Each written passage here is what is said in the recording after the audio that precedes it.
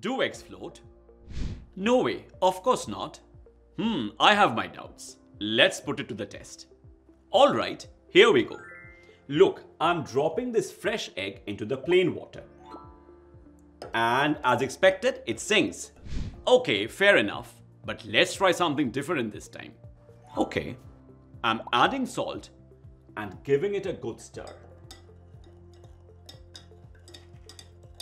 Now, let's try it again.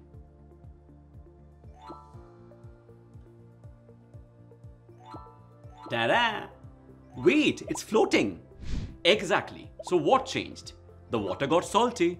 Right, but there is more to it. Adding salt made the water denser. Fresh water is less dense than the egg, so it sinks.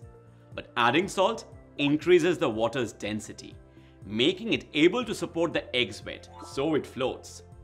Science is really amazing. Now I'm definitely trying this at home.